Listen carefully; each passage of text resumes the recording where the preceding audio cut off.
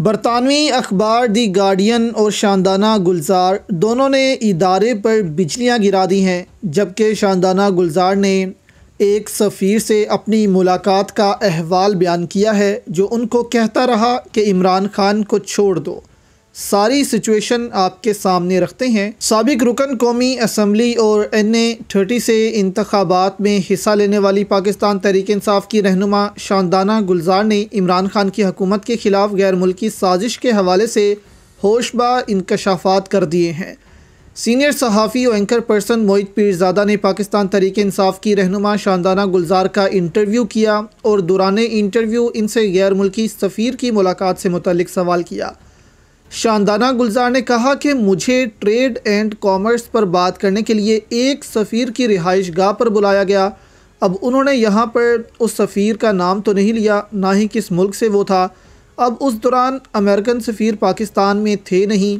कोई सफ़ीर अभी तक अमेरिका ने अपॉइंट नहीं किया था। तो यहाँ पर मुमकिन है कि कोई यूरोपीय सफ़ीर यहाँ पर उनसे मिला हो। उन्होंने कहा, उस सफ़ीर ने मुझे गाड़ी अंदर ले जाने से रोक दिया, यानी कि उसके सिक्योरिटी स्टाफ ने मुलाकात में मुझसे उन्होंने इमरान खान से हवाले से सवाल पूछा, जिस पर मैंने जवाब दिया कि वो मेरा बॉस है।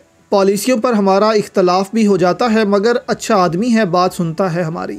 शानदाला गुजार ने कहा कि मुझसे पाकिस्तान के मौशी हालात के बारे में पूछा गया तो मैंने कहा कि मुस्तकबिल बहुत रोशन है, पाकिस्तान का हमारी एक्सपोर्ट्स में कोरोना के बावजूद इजाफ़ा हुआ है। हम छः फ़ीसद की शराह पर तरक्की कर रहे हैं। रहनुमा पीटीआई ने कहा कि उस दौरान मुझसे इमरान खान के मुतबादल के बारे में एकदम पूछ लिया गया और कहा गया कि कुछ ताकतवर हलके ये चाहते हैं कि आप पार्टी छोड़कर बिलावल या मरियम की पार्टी ज्वाइन कर लें।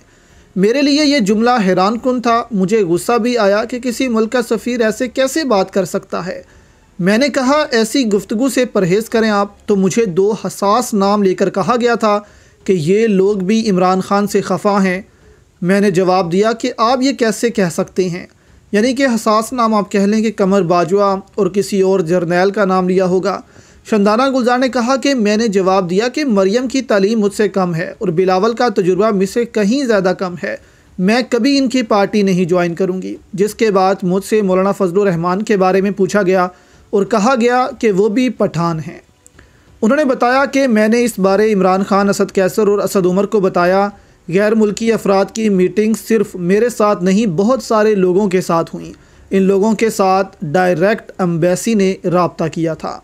अब इन बयान के बाद सबको पता लगा होगा कि इमरान खान के ख़िलाफ़ साजिश में बाजवा और गैर मुल्की ताकतें सब शामिल थीं। अब ये आर्टिकल भी देखें आप दोस्तों, द गार्डियन का। इसमें उन्होंने कहा है कि पाकिस्तानी फ़ौज पुराने तरीके इस्तेमाल कर रही है इमरान खान को इलेक्शन से दूर रखने के लिए। जो कि इस मीडिया के ज़माने में अब मुमकिन नहीं रहा है कि ऐसे तरीक़ों से किसी को इलेक्शन से दूर रखा जाए। इस पर आदिल राजा ने कहा कि पाकिस्तानी फ़ौज पुराने तरीके से इमरान खान को इलेक्शन से बाहर रखना चाहती है, दी गार्डियन। पूरी दुनिया को पता है कि पाकिस्तान में अपनी ही आवाम के साथ बदमाशी पाकिस्तानी फ़ौज कर रही है, जो कल तक हीरो थे, आज महिज कौम और दुनिया की नज़रों में गुंडे बन चुके हैं।